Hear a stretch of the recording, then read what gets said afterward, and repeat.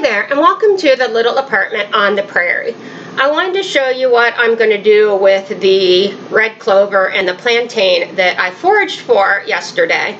And if you didn't see that video, I'll put a link to it down in the description. Um, I've got my red clover in this plastic bag. You've probably seen red clover growing in your yard.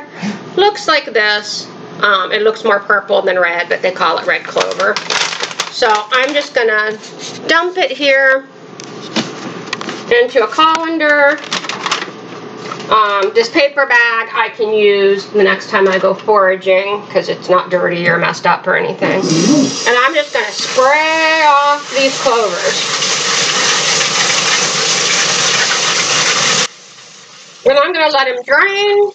I'm going to pick off the green, some most of the green, so I just have the purple flowers. Um, but I'm going to let them dry first to do that because it's easier when they're dry than when they're wet. And the green stuff I'll put in my compost bin. I'm going to dehydrate these, but I'm going to let them dry a little bit.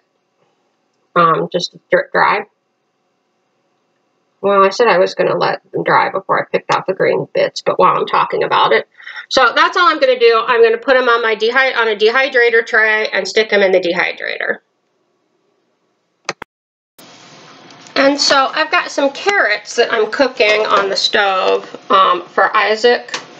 And they're little baby carrots. They're all boiling nicely.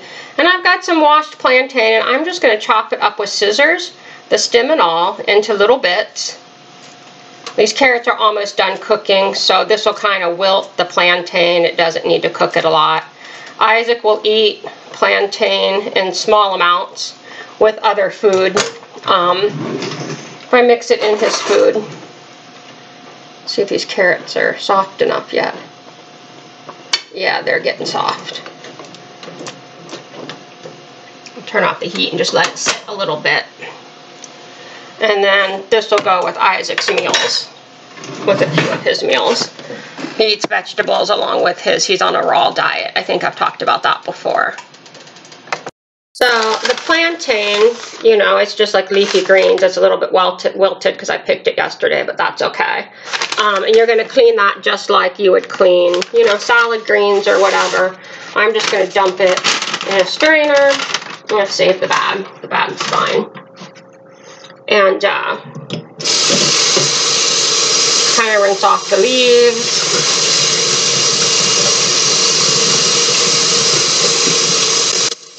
Hi, Sassy.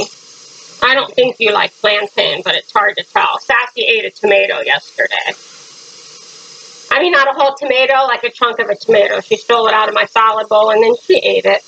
I didn't think she would, but she did. All right, so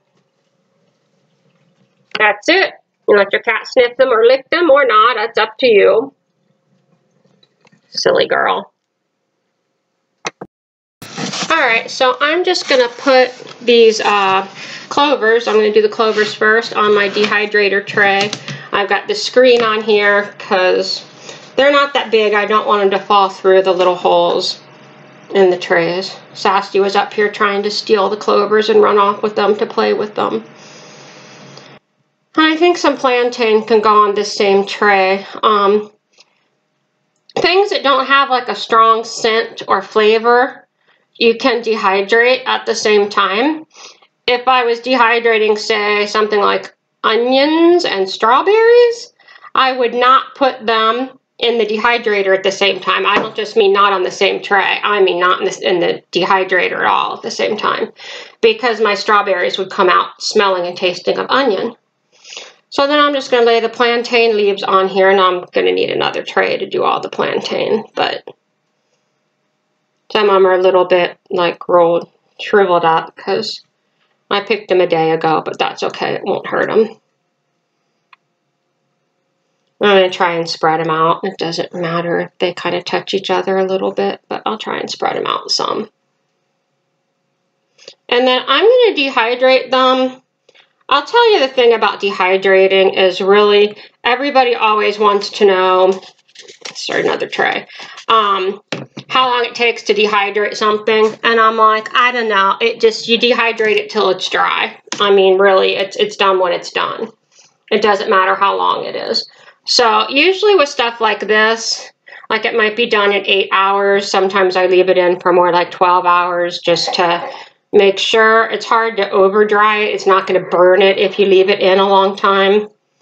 But if you don't have it dry enough, then you're not going to get, um, it's not going to store for a long time.